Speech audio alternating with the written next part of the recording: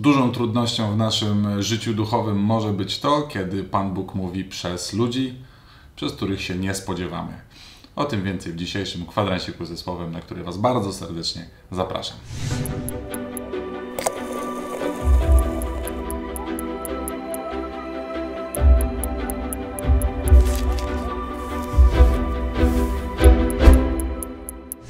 Cześć, dzień dobry, witajcie bardzo serdecznie w kolejnym odcinku Kwadrancika ze Słowem, e, który przygotowuję dla Was tutaj i nagrywam chwilę po przylocie ze Stanów. Tak jak widzieliście ostatni odcinek, nie ma za dużo wolnego czasu, więc trzeba pracować, trzeba iść do przodu i bardzo się z tego cieszę. W ogóle chcę Was zaprosić, jeszcze chyba można, więc zapraszam e, na e, dzień 2 września do Głogowa, niedaleko Zielonej Góry. Będziemy tam razem z Robim Dawkinsem, którego poznaliście na chwałę mu, z dr Mary Healy. Cały dzień informacji, jeszcze chyba ostatnie bilety zostały. W opisie możecie znaleźć link. No i też dzień później, trzeciego w niedzielę, mm, będzie w kościele, tam w kolegiacie chyba z tego co pamiętam, też to wszystko sprawdzę i Wam jeszcze podam. E, otwarta modlitwa o uzdrowienie e, również z Robim i z dr Mary. Będziemy wspólnie tam E, posługiwać, także przyjdźcie, bo na pewno będzie to bardzo e, dobry e, czas. Chciałbym dzisiaj Was zaprosić do tego, żebyśmy mm, wspólnie zagłębili się w Słowo. Otwórzmy proszę pierwszy list do Tesaloniczan, drugi rozdział, od 10 do 13 wersetu. Jest to list napisany mm, przez Pawła Sylwana Tymoteusza do tamtejszego e, kościoła, do tamtejszych e, wierzących. E, I to będzie, myślę, coś, co dzisiaj może nas nakarmić da, dać nam trochę więcej też wiedzy i takiego zastanowienia się właśnie nad tym, w jaki sposób Słowo Boże jest do nas kierowane i czy na pewno zawsze przyjmujemy to, co Pan Bóg do nas mówi, bo jest ryzyko, że Bóg będzie do nas mówił, a my go w jakiś sposób nie usłyszymy, albo słysząc nie rozpoznamy, co zresztą zdarzało się już wiele razy w historii. Pamiętacie e, Pana Jezusa, który przychodzi do Żydów, którzy oczekiwali Mesjasza już tak bardzo długo, znali proroctwa, znali zapowiedzi przyjścia Mesjasza, znali tak wiele szczegółów, a jednak kiedy Mesjasz przyszedł, to się z nim minęli. E, nie rozpoznali w nim tego, który miał przyjść, miał się objawić. Pan Jezus ma do nich też pretensje i mówi: Umiecie rozpoznawać znaki czasów, umiecie rozpoznawać znaczy te znaki na, na, na niebie i, i, na ziemi. Widzicie kolor nieba i potraficie przewidzieć pogodę, a nie potraficie duchowych znaków czasu rozpoznać. Nie potraficie e, rozpoznać i właściwie ocenić tego, co się przed Wami dzieje. E, I to jest takie, myślę, ryzyko, które jest ciągle przed nami i to nie jest ryzyko, które było i minęło, ale jest to coś, czego powinniśmy się wystrzegać, tak naprawdę być czujnym na tyle, byśmy byli gotowi na przyjęcie tego, co On ma na, dla nas do powiedzenia, bo mam wrażenie, że wielu z nas słyszy, ale nie rozpoznaje tego głosu i potem mówimy, a gdzie ten Pan Bóg, gdzie On przecież woła, a On nie odpowiada. Proszę, żeby mówił, a nie mówi. A może mówi, a my go nie rozpoznajemy. E, więc otwórzmy sobie dzisiaj, tak jak mówię, drugi rozdział pierwszego listu do Tesaloniczan od 10 do 13 wersetu. Sami jesteście świadkami i Bóg także, jak zachowywaliśmy się święcie, sprawiedliwie i nienagannie pośród was wierzących, mówi Paweł, Sylwan i Tymoteusz do tamtejszego kościoła.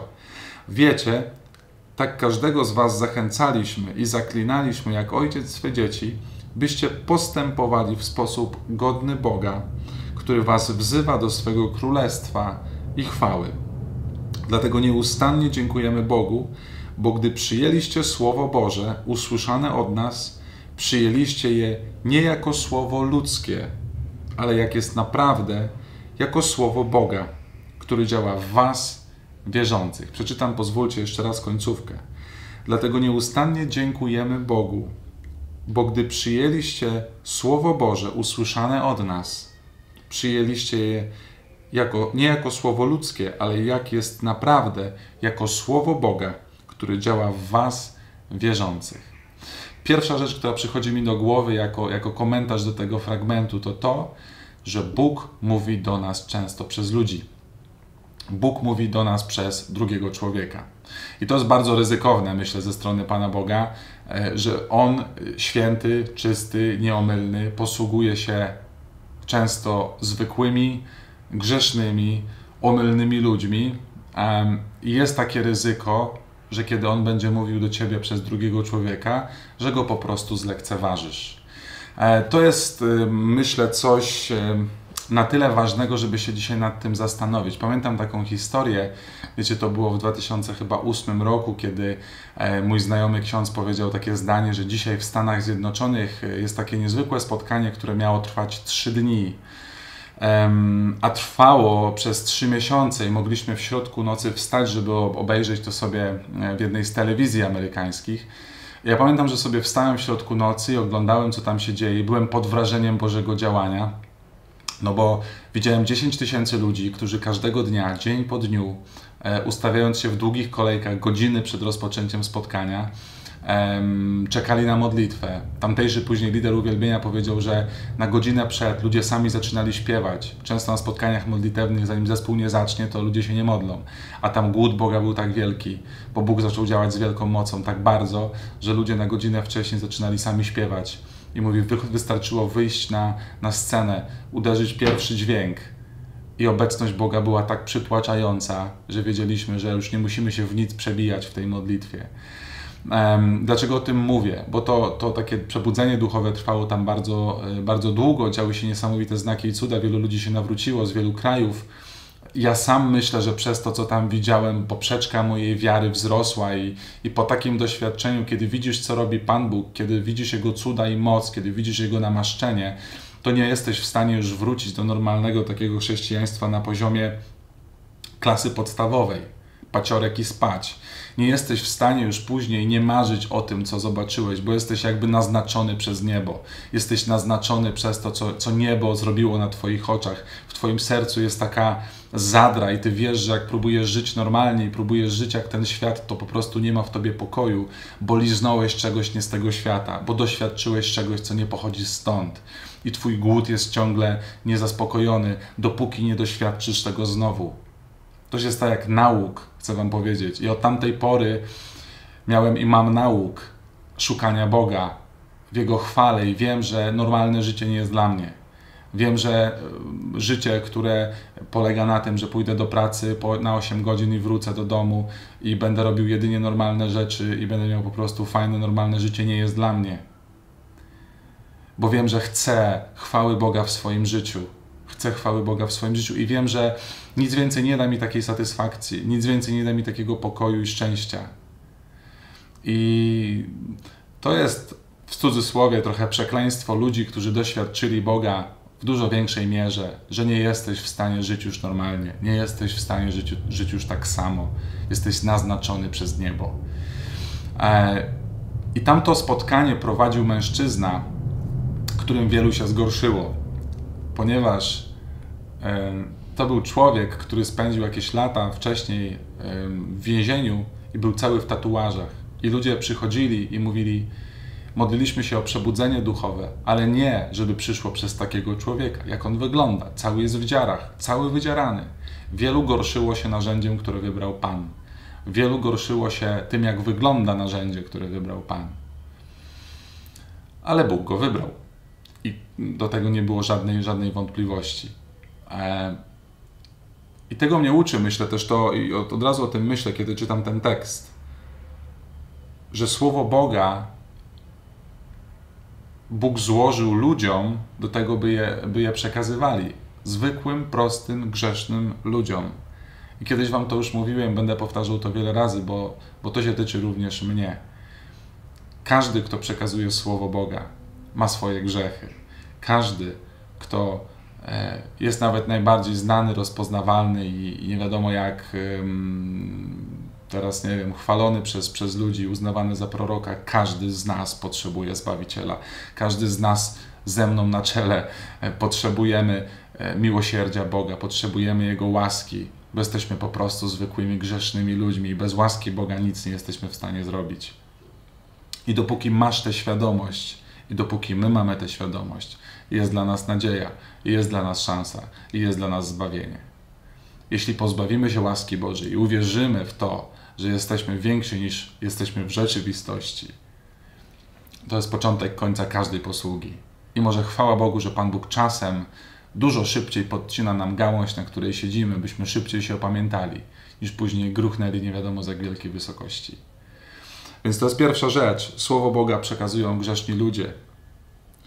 I, czytamy te, i czytając to, to zdanie, przyjęliście je nie jako słowo ludzkie, bo jest taka tendencja e, do tego, żeby jak głosi człowiek, traktować te słowa jako słowa człowieka.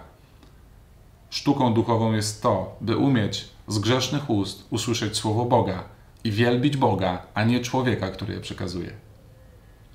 Na tym polega dojrzałość duchowa, na tym polega zdrowa duchowość. Zła, fałszywa i pokrzywiona duchowość polega na tym, że ludzie, którzy mm, słuchają kaznodziei, e, kogoś, kto głosi słowo Boga, które jest pełne mocy i namaszczenia, zaczynają czcić narzędzie, które jest słabe, a nie słowo Boga, które jest żywe i skuteczne.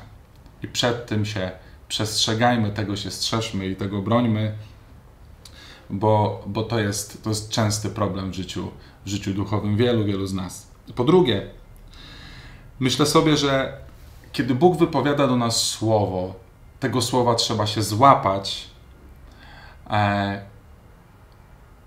i w tym słowie wytrwać, kiedy przychodzi pustynia. Wezmę na, na, na, przykład, y, bo on jest najbardziej dla mnie teraz taki praktyczny i mam go przed oczami. Przykład Maryi. Zobaczcie, że kiedy y, Maryja spotyka anioła, to jest bardzo chwalebny moment. Anioł przekazuje słowo od samego Boga. To jest moment chwalebny, to jest moment, w którym niebo łączy się z ziemią, w którym obywatel nieba, anioł przychodzi do, do, do człowieka i, i ziemia łączy się z niebem, niebo łączy się z ziemią. Maryja mówi tak i, i Syn Boży staje się e, częścią też jej ciała w tym momencie. I, mm, i to jest bardzo, bardzo taki, myślę, moment pełen emocji, pełen e, zachwytu, pełen e, takiego podekscytowania. Myślę, Maryja była cała podekscytowana. Zresztą widzimy później, jak biegnie do Elżbiety. Myślę, że to nie był spokojny chód, to nie była spokojna pielgrzymka, to był po prostu bieg do Elżbiety w całym podekscytowaniu, żeby powiedzieć, co się właśnie wydarzyło, co się właśnie stało. I później jest jeszcze parę takich chwalebnych momentów, jak ten, kiedy, kiedy rodzi się Pan Jezus i przychodzą aniołowie, przychodzą pastuszkowie, chwała Boga objawia się e, w żłóbku i tam w tych wszystkich miejscach, które chwały Bożej wcześniej chyba w takim wymiarze nie widziały. Znowu bardzo emocjonujący, bardzo ekscytujący moment. Maryja zachowuje to wszystko w swoim sercu, czytamy w Ewangelii Łukasza. I po tych chwalebnych, ekscytujących momentach, kiedy ona przyjmuje słowo, i kiedy się nim też ekscytuje i fascynuje, bo nie da się słowem Boga nie fascynować, nie ekscytować, kiedy ono się dzieje. Przychodzi moment i przychodzą momenty pustyni, kiedy trzeba po porodzie, po urodzeniu Jezusa uciekać, kiedy później trzeba um, przejść przez drogę krzyżową. Zobaczcie, to słowo zostało wypowiedziane, ale później tego słowa trzeba było się złapać i w tym słowie wytrwać przez czas pustyni przejść przez czas, w którym nie widać, nie słychać, nie czuć. I zostaje ci jedynie wspomnienie, jedynie doświadczenie, które masz w sobie, ciągłe doświadczenie sprzed tych iluś lat, że Bóg to wypowiedział, Bóg to przepowiedział i Bóg wypełnia swoją wolę w moim życiu, a ja dzisiaj nie czuję, nie widzę Jego obecności i On wydaje mi się, że jest daleko, a On jest, bo powiedział i Jego słowo jest żywe i Jego słowo jest stałe i niezmienne. I to jest sztuka życia wiary, by umieć cieszyć się momentami, w których Bóg ci daje to doświadczenie, w których Bóg ci daje słowo, które owocuje, które kwitnie, które wydaje jakiś plon. I ciesz się wtedy.